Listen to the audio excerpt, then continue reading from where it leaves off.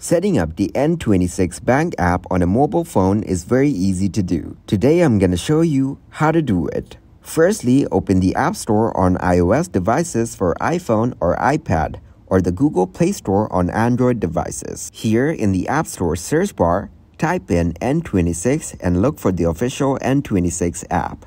Now, you will find the official N26 app. Tap on it to open its details page. Now, click the Install or Get button to download and install the app on your device. After the installation is complete, tap Open to launch the app. Tap on Accept All after carefully reading the terms and conditions. If you already have an N26 account, you can log in using your username and password. If not, you will need to sign up for an N26 account. Due to privacy reasons, I am unable to show my screen. To do this, you'll typically need to provide personal information and complete a verification process. So make sure to have your identification documents handy as they might be required for identity verification. N26 usually offers security features like PIN or biometric authentication, which will be useful for added security. Follow the on-screen instructions to set up these features. Read and accept the terms and conditions to use the app and N26's services. N26 may require additional identity verification steps,